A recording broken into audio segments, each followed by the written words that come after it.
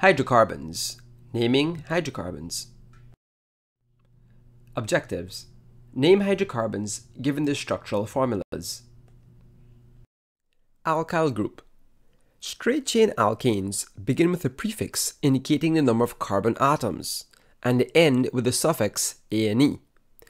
The alkane on the right has seven carbon atoms, beginning with hept.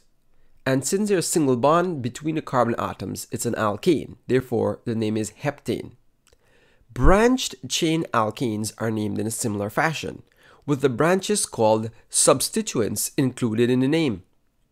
Substituent groups formed by the removal of one hydrogen from the end of an alkane chain are known as alkyl groups, and they are named by adding the suffix YL. For example, methyl or ethyl. Similarly, three carbon alkyl groups are called propyl or four carbon butyl, and so on. Naming alkenes with one substituent. Step 1 is to identify the longest carbon chain called the parent chain. Step 2 is to number the carbon chain in order to have the most substituents and such that the lowest number is at each substituent. And finally, step 3 is to identify the type of substituent. In this example, let's explore the longest carbon chain. So this is option 1. We have one, two, three, four, five, six carbons or Option 2, we have one, two, three, four, five, six, seven carbons. Therefore, we're going to use this parent chain as our longest parent chain. We can number it next from left to right, or we can also number it from right to left. Next, we need to identify or select which numbering system from left to right, the red, or from right to left, the blue, would make our substituent or branch have the lowest number. Where are our branches? The branch is found at the bottom. In left to right numbering scheme, the branch is at carbon 5, while from right to left, the branch is found at carbon 3. Therefore, we will use the right to left. Next, our numbering scheme is established.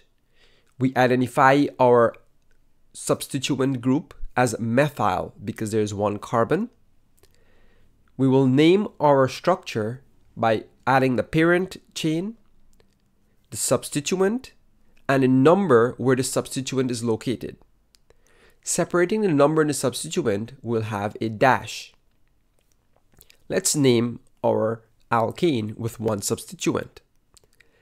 Using the organic prefix, we have a 7 carbon, so our parent chain will be called heptane. Our substituent is a methyl group, so it will be known as methylheptane. And the substituent group is located on carbon number 3. The name for our alkane with one substituent is 3-methylheptane. Note, there are no spaces also, there are no uppercase letters in the name. Next, naming alkanes with two or more substituents. Using the same steps, we identify the longest parent chain. The longest parent chain has eight carbons and we're numbering them from left to right. We also can number them from right to left. In this example, the branches or the substituent groups are located from left to right on carbon 6 and on carbon 2, or they are located on carbon 3 and carbon 7, numbering from right to left. Here we see numbering in from left to right will give our branches 2 and 6. So we'll use that numbering scheme. Now, we identify the name for our branches. We have methyl, and also we have another methyl group at the top. We will not combine these two separate branches together and call them ethyl because they are two individual branches found in the chain. So each branch has their own unique name. The carbon 2 is methyl and the carbon 6 is also methyl. Here we'll name the parent chain. Note, prefixes must be used to indicate the number of identical substituents. So we have our substituents and then we'll use a prefix to identify how many substituents we have. If there are two of them, we'll use di, three, tri, four, tetra, and so on. Next, we'll add our prefix to the substituent, followed by a dash, and numbers to separate the location for where those prefixes are, where those substituents are found, separated by commas. The longest parent chain is 8 carbons, so we call it octane. The substituents are methyl, and they are 2 methyl, so we call them dimethyl. And they're located on carbons 2 and 6. Our final name is 2, 6 dimethyl octane. 2, 3 dimethyl octane is incorrect because you're only supposed to use one numbering scheme. You cannot number from left to right and then in the middle of naming, you change the numbering scheme from right to left. You must follow one numbering scheme throughout.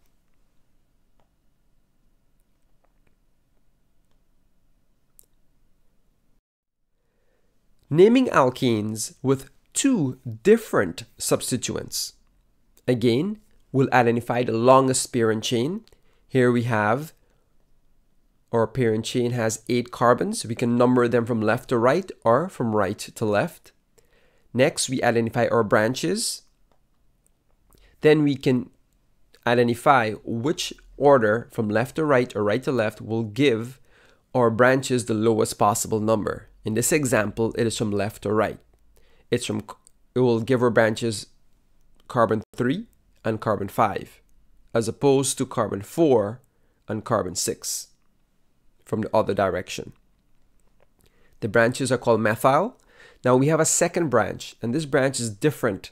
It has two carbons in it. Therefore, it is known as an ethyl group. Next, we'll name the parent chain followed by the substituent and the number for that substituent. Next, we also need to name and number the second substituent. Note, we always write the substituents in alphabetical order, excluding prefixes. Meaning, if there are two methyl group and we use di, we will ignore the D and use M in using the alphabetical order, which we will address in the next example. Continuing with this example 3, the location for one substituent for the ethyl is 3 carbon, so it's known as 3-ethyl. The next substituent is located at carbon number 5, so it's 5-methyl. And the longest chain is 8, so 3-ethyl, 5-methyl octane. Naming this alkane is 3-ethyl 5-methyl octane. Practice question. Name the organic compound below. Here we identify the longest chain. It has six carbons. We can number them from right, left to right and also from right to left. Next, we identify our branches or our substituent groups. There are two of them. And they can be located at carbon 3 and 5 or carbon 2 and 4. So we'll use the one that has lower numbers, carbon 2 and carbon 4, numbering from right to left in blue. Now, our name. Let's name our branches. We have a one carbon branch, which is known as the methyl, and we have another one carbon branch, also known as methyl. Longest chain, there are six carbons, so we name it hexane. Now we need to name our substituent, it's methyl, and there are two of them, so we use dimethyl, and now we have to write their locations, carbon 2 and carbon 4. The name for a compound is 2, 4 dimethyl hexane. Practice question 2 name the organic compound. First step is to identify the longest parent chain. Here we have six carbons. We can name them from left to right or from right to left. From left to right, the branches are located on carbon 4 or from right to left, it's located at carbon 3. So we'll select the one located at carbon 3. Now there are two branches located on the third carbon. One is the methyl and another one is methyl. Let's name it. The longest chain is hexane. There are substituents called methyl. There are two methyl, so use dimethyl, and you're located at carbon 3. So our answer is 3, comma 3 dash dimethyl hexane. 4 dash dimethyl 3 dash is incorrect since you need to indicate where each substituent group is located. Practice question 3. Name the organic compound below. Step 1 is to identify the longest carbon chain. Here we have a 6 carbon chain. We can number it from left to right or from right to left. Next, we identify our branches and the location on the carbon chain that would give them the lowest possible numbers. We have two options, 2, 3, and 5, or 2, 4, and 5. We'll pick from left to right 2, 3, and 5. Next, we identify our branches. We have a methyl, another methyl, and an ethyl group. Since the longest chain has six carbons, we call it hexane, but we need to use the ethyl before the methyl in the naming for the prefix, even though there are two methyl groups. So we have dimethylhexane, and they're located on carbons 2 and carbon 5, and our ethyl group is located at carbon 3.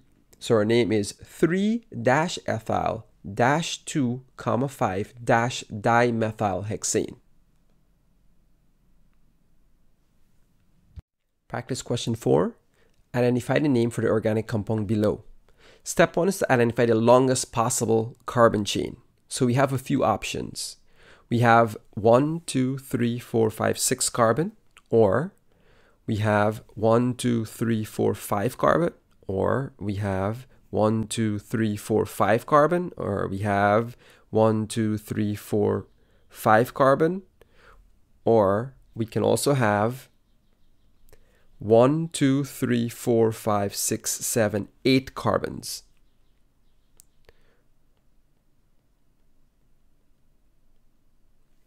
Since this is our longest chain, we can number it from left to right or from right to left. Next, we identify our branches or our substituent groups. We have three substituent groups. Now, which numbering scheme should we choose? The branches are located from left to right at carbons 4, 5, and 7, or from right to left 2, 4, and 5. We'll therefore select from right to left 2, 4, and 5. Let's name our branches. The longest parent chain is octane, and we have 2-methyl, so it's dimethyl, and they're located on carbons 2 and carbon 5, and we have an ethyl group located at carbon 4. So the name for a compound is 4-ethyl 2,5-dimethyl octane. Naming alkenes. Step 1. Identify the longest carbon chain called the parent chain. Step 2. Number the carbon chain such that the double bond has the lowest number. Step 3. Identify the type of substituent or the branch present. In the first example, there are three carbons. We identify that as the parent chain. There's a double bond present, so it's an alkene we number them from left to right or from right to left. Our double bond has to be on the lowest numbered carbon. Here, the double bond is between carbon 1 and carbon 2. Therefore, we can say the double bond is on carbon 1. Since it's 3 carbon, it's called prop, and it's an alkene, it's called propene. 1 propene. Now, if you were to flip the molecule around, it will be the same thing, numbering it from right to left. In this example, we can use the name propene. For the second example, there are four carbons with a double bond present. Numbering them from left to right, we observe it's between carbon 2 and 3. If we number it from the other direction, it's also between carbon 2 and 3. In this example, since there are four carbons in alkene, it's known as butene, and the double bond is present in the carbon 2, therefore it's called 2-butene.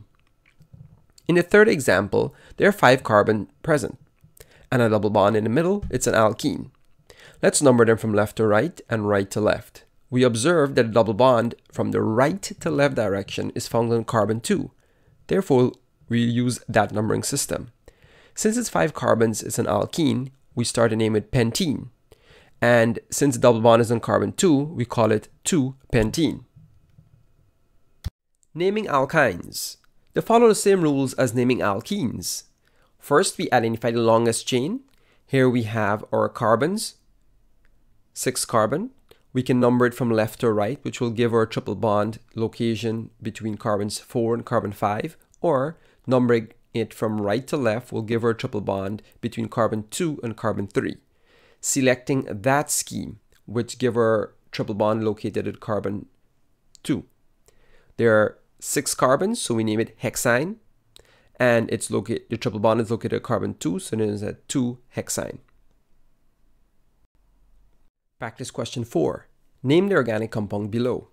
Let's identify our longest parent chain.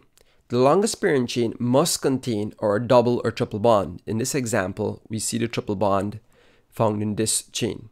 There are five carbons in our chain. We can number them from left to right or we can number them from right to left.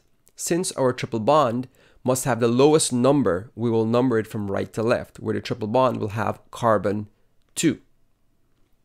Next, we identify our branch or substituent. In this example, it is methyl. Let's name our compound. Since it's an alkyne, because there's a triple bond, we'll name it pentyne, uh, because there are five carbons. The location of the triple bond is on carbon 2, so it is known as 2-pentyne. Now for the substituent group methyl. The methyl is located on carbon 4, so it is called 4-methyl 2-pentyne.